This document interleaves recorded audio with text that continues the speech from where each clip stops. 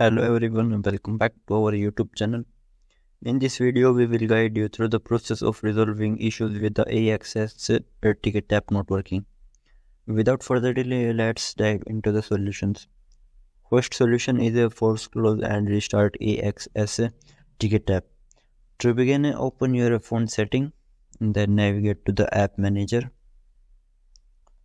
After that select the AXS ticket app from the app list and then click on a force stop from the bottom right corner.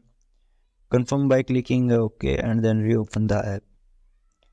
Second solution is uh, disable and enable your internet connection.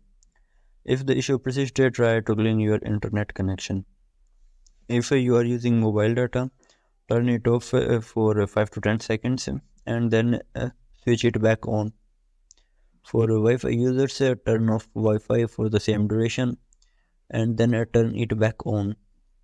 Alternatively, activate aeroplane mode for uh, 4 to 5 seconds and then turn it off. Uh, then check if the issue resolves. Third solution is uh, update AXS ticket app to the latest version. To do this, uh, head to the Play Store and search for the AXS ticket app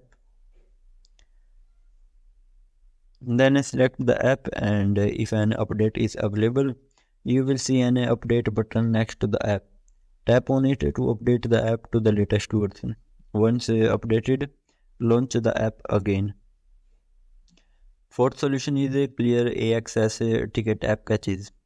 Clearing the app caches can often resolve performance issues to clear AXS ticket app caches go to your phone setting and then open app manager after that, select the AXS ticket app from the app list.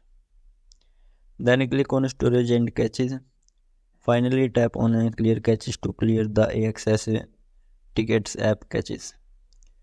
Fifth solution is uninstall and reinstall the AXS ticket app. If the problem persists, uninstall the AXS ticket app by going to Play Store, searching for the app and selecting uninstall. Once they are installed, reinstall the app by clicking on the install button. If none of the above methods work, the issue may be AXS ticket app server is down. In such cases, you may need to wait for some time and try again later. Thank you for watching our video and we hope this solution helped resolve the AXS ticket app issues for you.